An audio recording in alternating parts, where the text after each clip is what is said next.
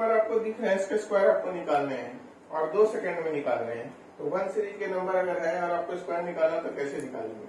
इसका short trick देखिए। जैसे 11 का स्क्वायर निकालना है तो 11 में कितने डिजिट है? दो डिजिट तो वन टू और फिर घटते हुए क्रम में लिख देंगे वन तो ये हो गया 11 का स्क्वायर जैसे थ्री डिजिट है वन वन वन तो one two three two one जैसे फोर डिजिट है one two three four three two one five digit है one two three four five four three two one इस तरह से आप वन वाले सीरीज़ का स्क्वायर निकाल सकते हैं।